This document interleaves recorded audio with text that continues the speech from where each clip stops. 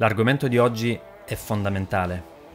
Che tipo di look avrà la vostra foto? Quanto sarà nitida e quanto sfocata? Volete catturare tutto il panorama o solo quell'albero alla fine della vallata? Ciao ragazzi, io mi chiamo Davide Scognamiglio e oggi vi insegno a scegliere la lente giusta.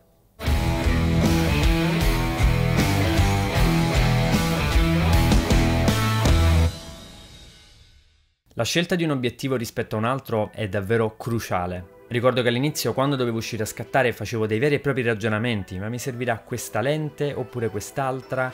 E insomma era davvero complicato scegliere. E spesso mi capitava di vedere una foto con gli occhi e non riuscire a catturarla per come l'avevo immaginata. E sapete perché? Stavo utilizzando la lente sbagliata. Quando andiamo ad analizzare una lente, per scegliere quale comprare o quale portare con noi, dobbiamo anche prendere in considerazione l'apertura del diaframma. Ancora non vi ho parlato del diaframma, per il momento sappiate solo che nella lente ci sono delle lamelle che si possono chiudere o aprire a seconda delle vostre necessità, a seconda dei vostri comandi. Chiaramente l'apertura o la chiusura di queste lamelle darà un look diverso alla vostra fotografia.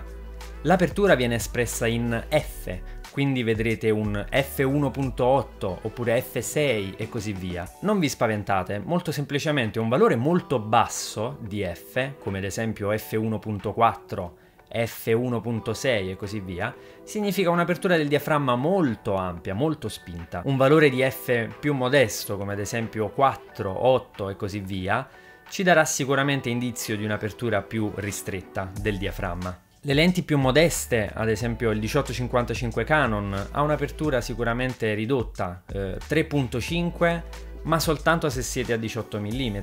Come inizierete a zoomare fino ad arrivare ai 55 mm, avrete un'apertura massima possibile di 5.6. Il bello delle lenti prime è che invece possono raggiungere delle aperture molto importanti a prezzi molto contenuti. Questo 50 mm Canon, che costa poco più di 100 euro, può raggiungere un'apertura massima di 1.8 e vi assicuro che tra 1.8 e 3.5 la foto vi cambia totalmente. Per avere un'apertura più ampia e magari costante su tutta la lunghezza focale dello zoom, i produttori delle lenti vanno a stravolgere totalmente il sistema di lenti presenti nel, nell'obiettivo e si raggiungeranno quindi dei prezzi sicuramente molto più onerosi e delle dimensioni sicuramente non trascurabili. Qui potete vedere il 1855 Canon lente kit e il 1655 Fujifilm, che è una lente sicuramente d'eccezione perché può raggiungere un'apertura di f2.8, quindi niente male per uno zoom, e lo mantiene su tutta l'escursione focale, dai 16 ai 55 mm. Ma quindi, dopo tutto questo discorso, io che lunghezza focale dovrei utilizzare? È una domanda da un milione di dollari, dipende tutto dalla foto che volete portare a casa. Non dipende solamente da che tipo di fotografia volete fare, se ritrattistica, paesaggi e così via, ma dipende anche da che tipo di ritratti e che tipo di paesaggi volete fare. La scelta del tipo di lente dipende sempre da che tipo tipo di scatto volete portare a casa e che tipo di storia volete raccontare. Adesso vi faccio vedere una carrellata di scatti per farvi vedere che non si può scattare ritratti soltanto con una lunghezza focale, ma dipende tutto da cosa volete raccontare.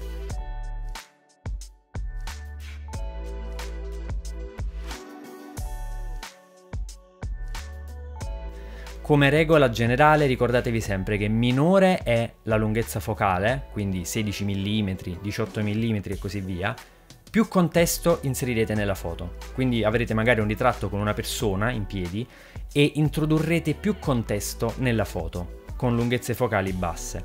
Se andate invece sui teleobiettivi come 90 mm e così via, isolerete totalmente il vostro soggetto, quindi estrarrete il vostro soggetto dal vostro contesto. E quindi andrete a raccontare molto molto meno sul contesto in cui è immerso il soggetto. Dipende tutto dalla storia che volete raccontare. All'inizio lo so, si ragiona, ma per questo tipo di scatto mi servirà un 135 mm o un 16 o un 50 e così via. Io li ho fatti questi ragionamenti, ve l'ho detto all'inizio.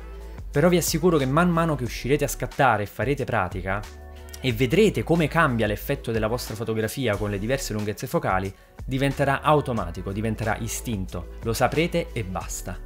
Anche per oggi siamo giunti al termine di questa lezione. Lo so che ancora non siamo entrati nel vivo della tecnica fotografica, ISO, velocità di scatto e così via, però ci tengo che la vostra preparazione poggi su solide basi. Come al solito, se avete dubbi scrivetemeli qui sotto nei commenti, iscrivetevi al canale per essere sempre aggiornati sui prossimi video didattici, attivate la campanella perché ragazzi il prossimo video sarà davvero fondamentale per la tecnica fotografica e noi come al solito ci vediamo nel prossimo video.